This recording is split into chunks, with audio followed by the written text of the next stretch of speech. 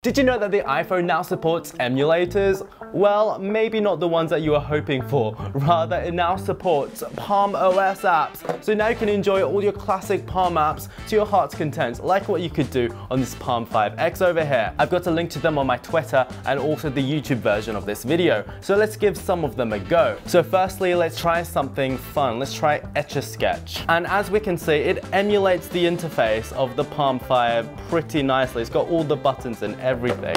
This is absolutely terrible. Actually, I totally forgot about this. The Palm had a stylus, so let's see if you can actually draw on the screen. Um, I don't think you can. let's just give um, a video game a go. Let's play Invaders. Let's start. How do I shoot? There we go. And um, as we can see, performance is not great. And um, I died right there. So that's the Palm emulator on iOS. Make sure that you're following to see more terrible, irrelevant content just like this.